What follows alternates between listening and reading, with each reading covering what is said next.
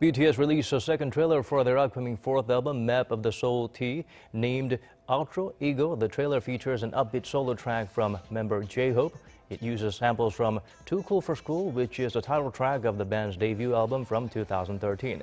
Map of the Soul 7, rather, will drop on February 21st.